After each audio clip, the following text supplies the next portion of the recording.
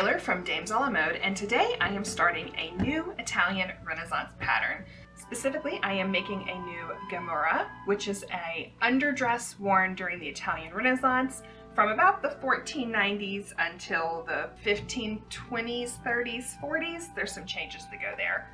I have already made one of these before, which is this one here. So even though I have obviously made one of these before, today I'm going to do something a little bit different and I'm actually going to be inspired by this Margo Anderson pattern for the Gamurra.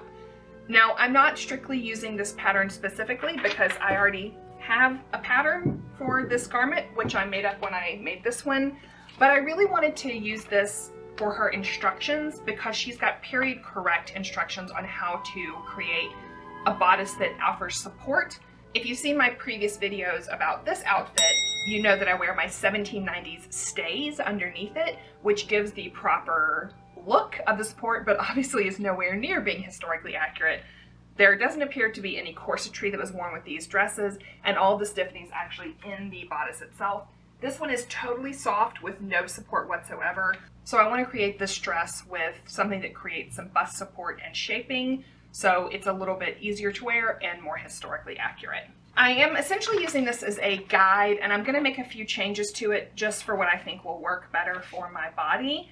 Um, but this was really valuable in, in seeing the methods that she used to do this. And from what I can tell, the pattern itself looks really good. So I would say I tentatively recommend this pattern. I haven't found like really any commercial patterns for this period. So if you don't feel comfortable drafting one of these yourself, this might be a really good starting point. And the instructions, like I said, are really good. So this is a fabric that I found on Etsy. This is also a modern synthetic upholstery fabric. It is not necessarily a dress weight fabric. It's not silk or any natural fiber.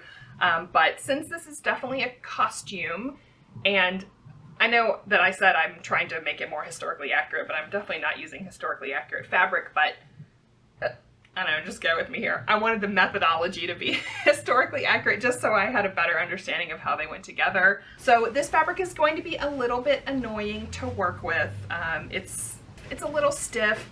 It's also got a lot of sort of loose threads and stuff, which makes it kind of a pain to deal with. You know, using a modern upholstery fabric. So I know I chose fabric that's going to be a little bit tougher, but we can easily work with that, no problem. Now, since I already have a pattern for this that I know fits me perfectly, I don't have to worry at all about doing any fitting or anything like that. So I'm gonna dive right into the making it. I will say that on this pattern from Margo Anderson, there are fitting tips in here. Um, so once again, if you're not sure about how to do that, this looks like a great, great way to learn some of that information. Typically, this style of dress would have been more of an underdress, and there was a garment that would have gone over it for more formal occasions, but I'm basically going to be making this up as it is uh, the only part of this garment. And maybe one day I'll make something to go over it, but for this purpose I'm going to be primarily wearing it as an individual standalone piece that is the completed outfit.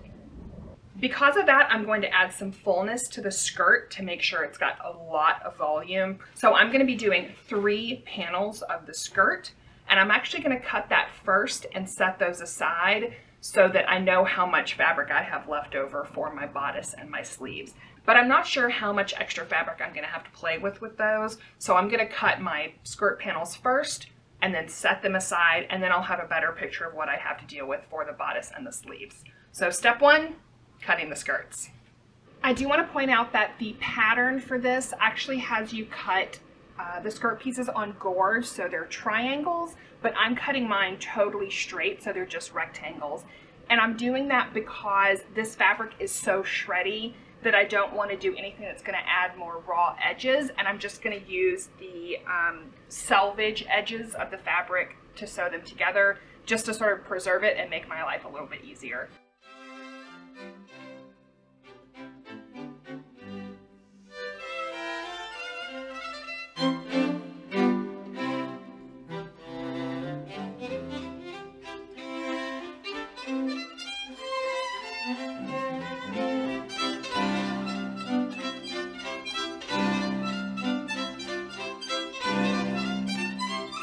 So the way to achieve stiffening in a bodice like this is by basically making like a layer cake of stacks of fabric to give it stiffness and thickness and then everything gets stitched together.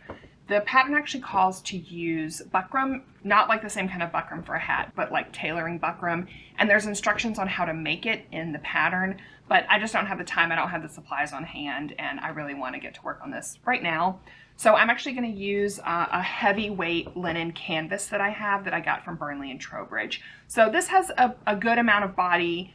Um, it's relatively heavy and I think I can achieve it by um, using stacks of this. I also have a plain linen lining that I'm going to use and an exterior layer of a, um, a softer but also heavy linen to use as a mulling layer, which I'll also talk about. And then of course I have the fashion fabric layer. Now there's a lot of steps and some of these layers need seam allowance and some don't. So I actually wrote out like a list of all the different steps that I need to do so I don't accidentally um, forget to cut something or cut something with seam allowance. It doesn't need seam allowance or vice versa. And I only have a little bit of my uh, linen canvas that I'm using. So I do have to be sort of careful and use it judiciously. I don't really have room to make mistakes. So now I'm just gonna start cutting out all the different pieces of this bodice and then we'll talk about putting them together.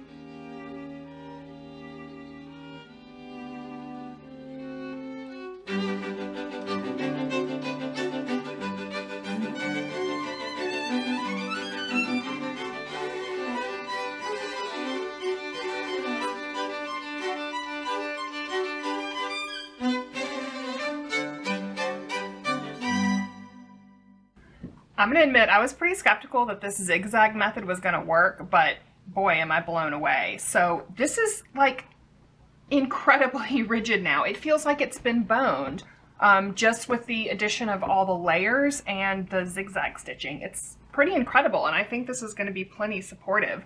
I thought I was gonna have to put some bones in here also, but I really don't think I'm gonna need to. So go Margo Anderson. I love this method. This is really great. Um, the other thing is that because all the seam allowances are sort of graded down, it's remarkably smooth. Like it really does hide all those edges. So this is super cool. I'm I'm going to use this method for other things in the future too. Um, now I just need to sort of step all these layers together and start actually assembling the bodice. So I'm going to start out with my linen layer, which I have all sewn up as one piece. So all the seam lines are sewn together except for the shoulder seams, and it's just one big piece. Then on top of that, I'm going to add in my stiffening interlining layer, and then I'm going to put in my mulling layer. This layer is not in the pattern itself, and to be honest, I probably, I'm not even really sure that I need it because this ended up being smoother than I anticipated, but I'm just gonna put it in just for good measure to give some smoothness to that outer layer.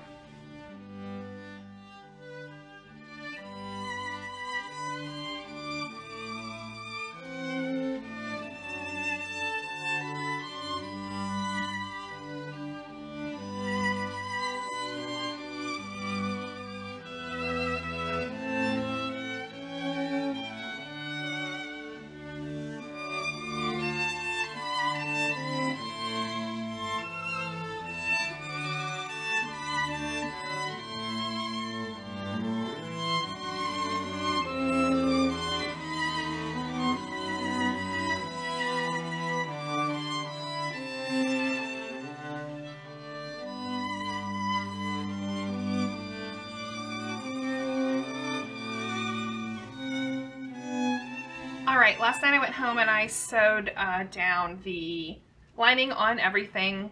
This is probably overkill that I like sewed down the whole thing, but I was worried about this shifting because there's so many layers in it.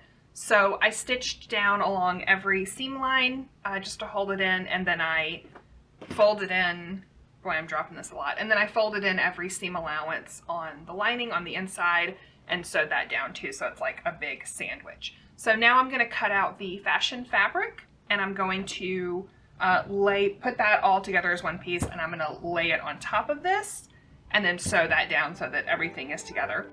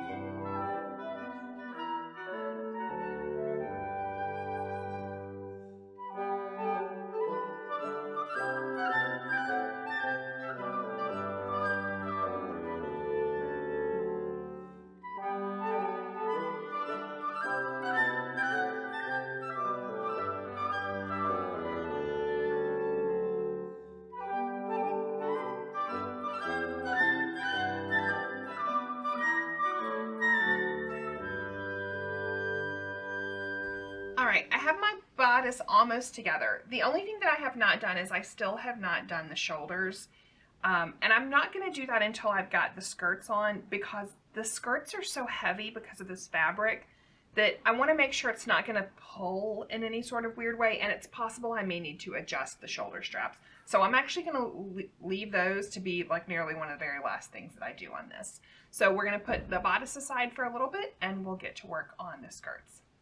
I want to sew the center front seam as matching as I can get it because it's going to have a split right down the center uh, for about maybe four or five inches.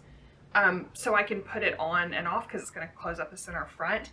On another fabric, I would just cut into whatever that was going to be. But because this fabric is so thick and kind of shreddy, it's going to be really tricky to actually do that in a clean and neat way without it having sort of like a big bunchy gappy thing right here. So instead I'm going to utilize the selvage edges and have that be the center front so I can just turn them back and stitch them down and it'll close together nicely without a lot of additional fiddling by me. So I'm going to take extra effort to make sure that I am pattern matching on the center front seam so that it's as hidden as can be on that very visible part of the dress.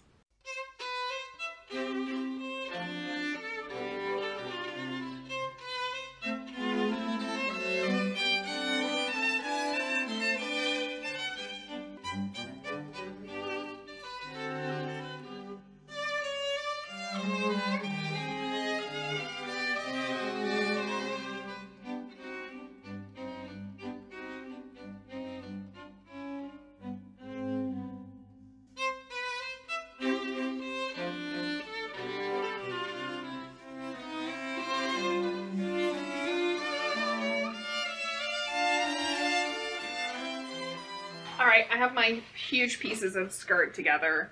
As you can see, this fabric is just shredding like crazy, which is part of the issues with uh, using this style of fabric as well. One thing you probably can't see, but I'll show you, is that the back side of this fabric has all these little loose golden threads to create the design, and boy, do they catch on everything.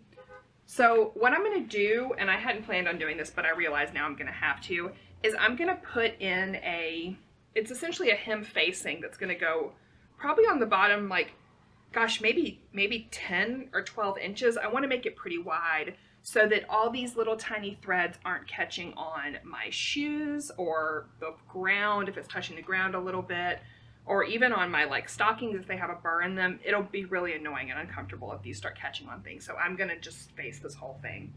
I have one seam still open so it's a long piece instead of being a tube right now. And I'm gonna do the facing first with it as one long piece like this. It's just much easier to do it that way.